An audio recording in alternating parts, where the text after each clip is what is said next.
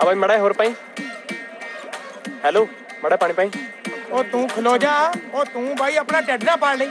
ਉਹ ਮੇਰੇ ਕੋਲ ਇੱਥੇ ਚੱਤੋ ਪੈ ਰੌਣਕਾਂ ਲੱਗੇ ਰਹਿੰਦੀਆਂ। ਉਹ ਤੂੰ ਇੱਕ ਕੰਮ ਹੀ ਕਿਉਂ ਨਹੀਂ ਕਰਦਾ? ਤੂੰ ਇੱਥੇ ਪਲੇਟਾਂ ਧੋਣ ਤੇ ਲੱਗ ਜਾ। ਉਹ ਤੈਨੂੰ ਮੈਂ 450 ਰੁਪਇਆ ਦਊਂਗਾ ਮਹੀਨਾ। ਦੱਸਾਂ ਤੈਨੂੰ ਮੈਂ। ਉਹ ਭਾਈ ਗੁੱਸਾ ਕਦੋਂ ਕਰਦਾ? 650 ਲੈ ਲੈ। ਕੁੜੀਆਂ ਦਾ ਮੈਨੂੰ ਬਹੁਤਾ ਹਿਸਾਬ ਜਿਹਾ ਨਹੀਂ। ਤੇਰੇ ਤੋਂ ਫੈਂਟ ਲੱਗੇ ਮੈਂ ਬੰਦ ਲਾਉਣਾ। ਸਮਝ ਆ ਗਈ? ਆ ਭਾਰ ਨਹੀਂ ਚੱਲਦੀਆਂ। ਤਾਂ ਸ਼ਾਹੂਕਾਰ। ਟੈਟੂ ਮੇਰੀ ਵੀ ਹੈਗਾ ਪੀਕਾਕ ਉੱਡ ਗਿਆ। ਇੱਕ ਕਿੱਥੇ ਗਿਆ? ਇੱਕ ਆ ਹੈਗਾ ਯੈਸ ਹੈਲੋ ਗੁੱਡ ਪਤਾ ਸੀ ਹੋਣਾ ਹੀ ਹੋਗਾ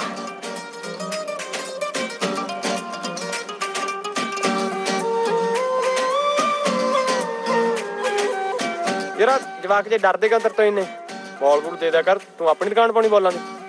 ਨਾਲ ਜੇ ਕੱਲ ਨੂੰ ਇਹਨਾਂ 'ਚ ਕੋਈ ਯਵਰਾਜ ਜਾਂ ਕੋਹਲੀ ਬਣ ਗਿਆ ਨਾ ਤੇਰਾ ਘਾਟੀ ਵੀ ਤੇ ਆਊਗਾ। ਅਟੇ ਜੰਤਰੀ ਹੈਗੀ ਤੁਹਾਡੇ ਕੋਲ ਜੰਤਰੀ ਰਾਸ਼ੀ ਵਾਲੀ। ਨਿਕਲ ਜਾ। ਕਿਉਂ? ਕਹਿ ਰਹੀ ਆ ਨਾ। ਤੇਰੇ ਕਹਿਣ ਨਾਲ ਕਿੰਦਾ ਕਿਹਾ ਤਾਂ ਆਂਟੀ ਦੀ ਅੱਛਾ ਤੂੰ ਤਾਂ ਕਹੇਗਾ ਕਿ ਰੋਟੀ ਵੀ ਇੱਧਰ ਖਾ ਕੇ ਜਾਊਂਗਾ।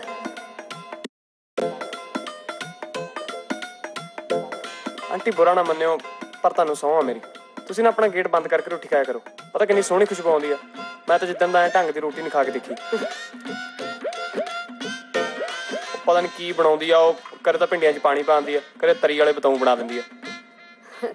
ਕੋਈ ਨਾ ਪੁੱਤ, ਅੱਜ ਤੂੰ ਇੱਥੇ ਹੀ ਖਾ ਕੇ ਜਾਈ। ਉਹ ਤਾਂ ਛੱਡ ਖੜਾ, ਉਹ ਤਾਂ ਸ਼ਦੈਣ ਆ।